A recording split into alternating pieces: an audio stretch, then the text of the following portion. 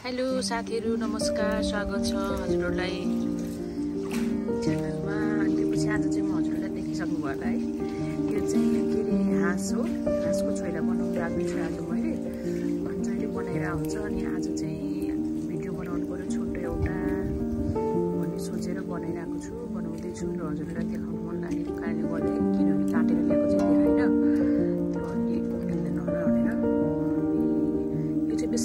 आगोमा चाहिँ बेसरी झर्र त्यो बोसो आउँछ अनि त्यो भएर भएर अलि हुँदैन यो चाहिँ एकदम एकदम थोरै आगोमा चाहिँ मजाले भन्छ बेसरी भित्रसम्म मजाले पाक्छ कि यो कस्तो मजाले पाकेको छ अब लसुन पातहरू हालेर टिप्न त्यसपछि तर्रो बनाउँछु भनेको छु हेरौँ कस्तो हुन्छ हजुरहरूलाई आफ्नो आफ्नो स्टाइलले बनाइन्छ के अरे आज मेरो स्टाइलको हाँसको छोरा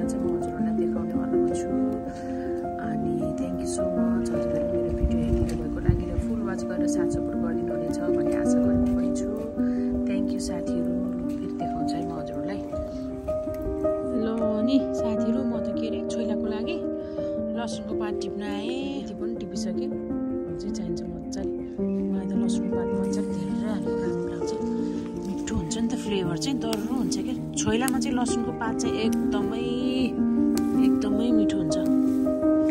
छोइलामा लसुनको पात हालेन भने चाहिँ खैके खैके हुन्छ जस्तो लाग्छ छोइला त। मलाई चाहिँ त्यही भएर मैले डह्रो टिप्दैछु अलिकति उखाल्छु पनि।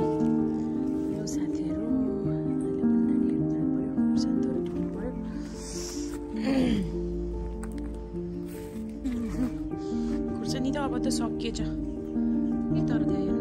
भ्याउँदैन भ्याउँदैन भन्दा नि खोइ के हो के हो? नभ्याउने हो कि के थाहा नै छैन।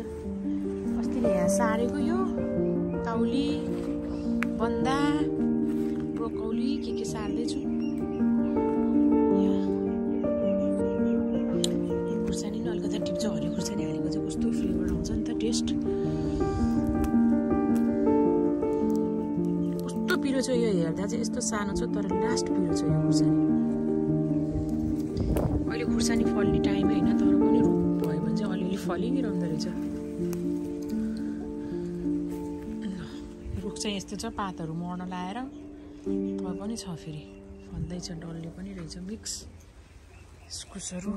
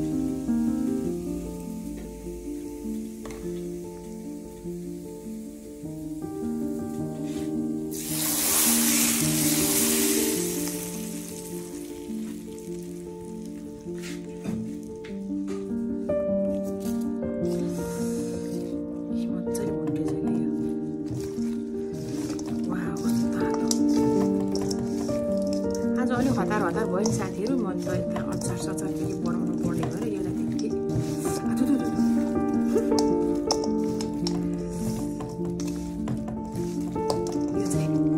खानुभन्दा तिन चार घन्टा अगाडि चाहिँ गर्नै पर्छ क्या छोइला चाहिँ मजाले मसला मलिन्छ ए म त गरम मसला नि हाल्छु अहिले बिर्सेछु नि किनभने चिसो छ नि त जाडो छ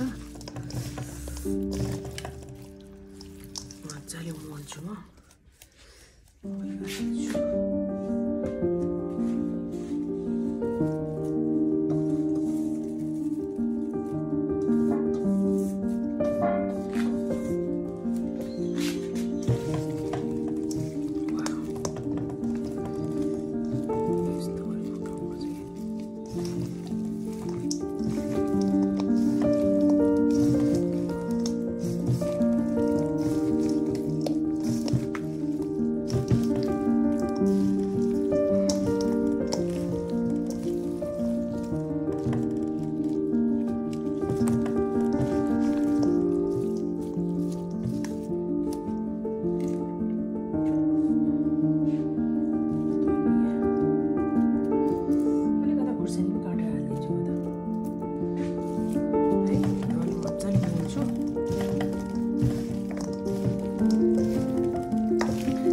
साथीहरू हजुरहरूलाई कस्तो लाग्यो मेरो हाँसको छोइलाको रेसिपी बनाएको आज अलि हतार भएन त्यो भएर गर्दा।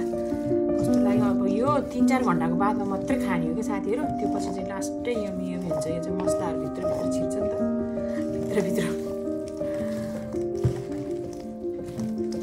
लोकल हाँसको छोइला मजाले पाकेको छ क्या।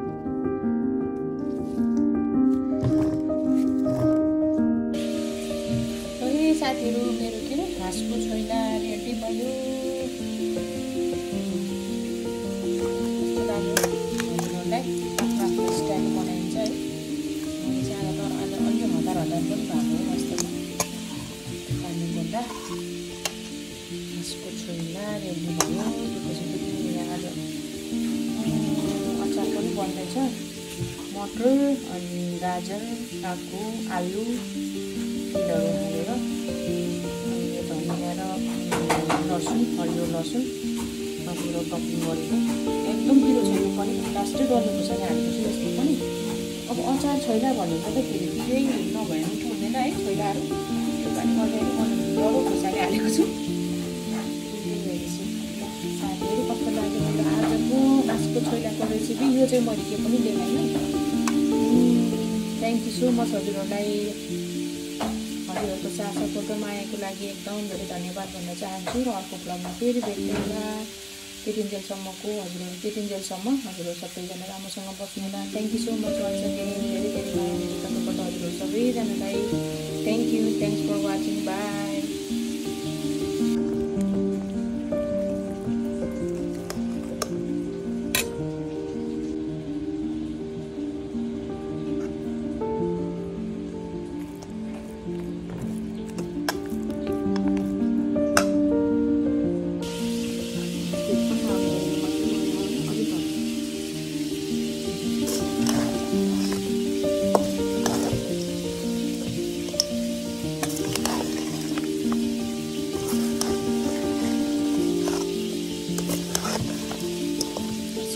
yummy yummy हाँसको छोरा रेडी भयो साथीहरू।